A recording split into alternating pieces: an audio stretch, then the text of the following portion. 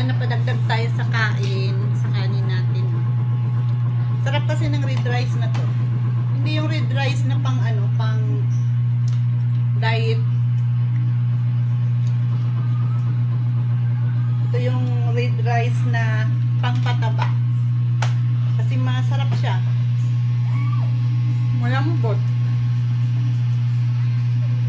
Kaso nakape yung ulam. Oh,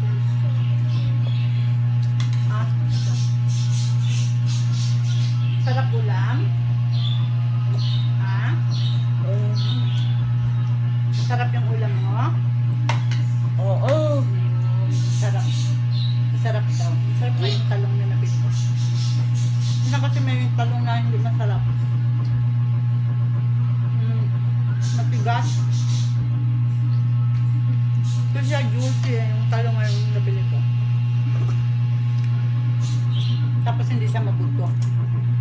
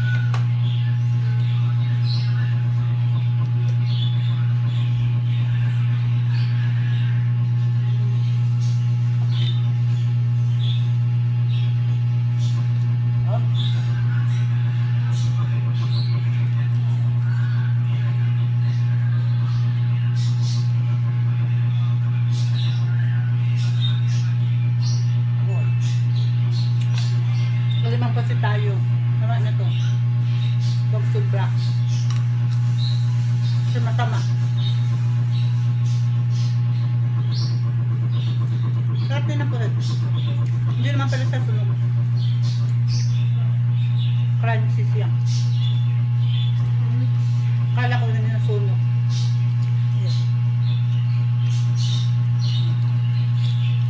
Naubos yung talong. Dalawang hiwa lang nakain ko. Tatlo yung sa prinsesa ko. Na? Harap yung talong, no?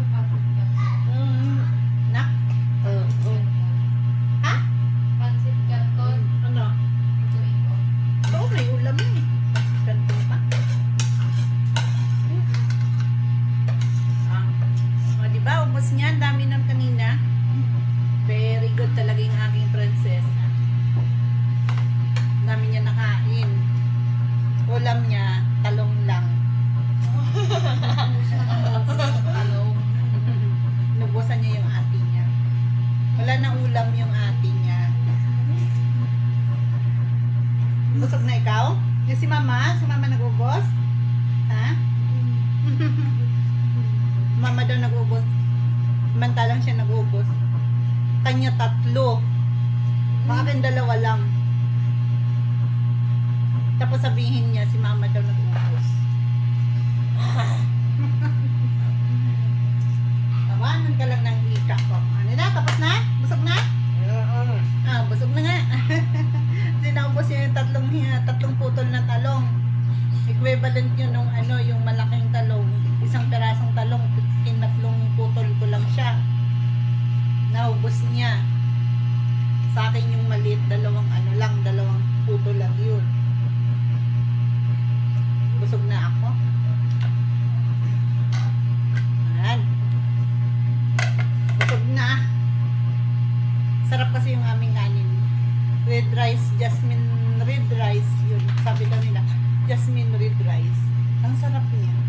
malambot siya.